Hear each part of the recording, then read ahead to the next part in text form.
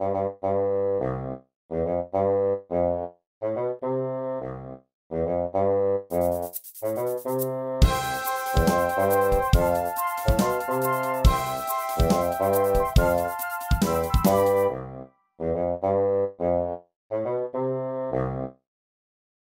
everyone, today I'm going to show you how to fold a little kite-shaped silverware pocket.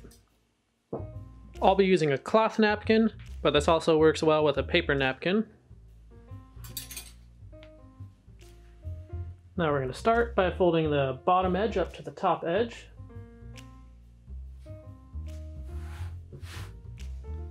Next we'll bring this right edge over to the left edge.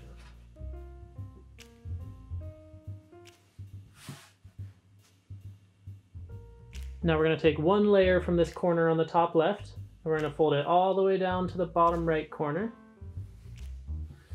And crease that down. Next we'll unfold that. Now we're going to fold that corner down to that crease we just made, and just try to keep it centered. Next we'll bring that new edge into that same crease. Next we're going to take that and fold it over on that existing crease. Just like that.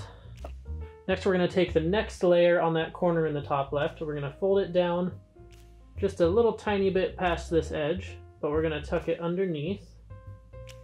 Just like that. Then we'll take this edge and we'll fold it to this edge.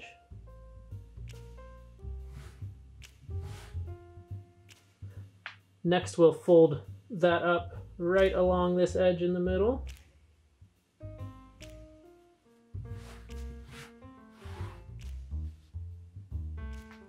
Now you can turn the whole thing over. I'm going to rotate it like this. Next we're going to bring this edge on the bottom left into lie vertically right in the center.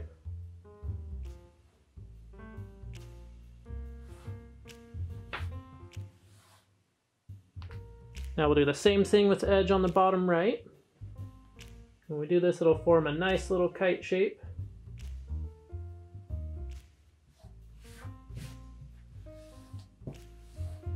Just like that. Now you can turn the whole thing over.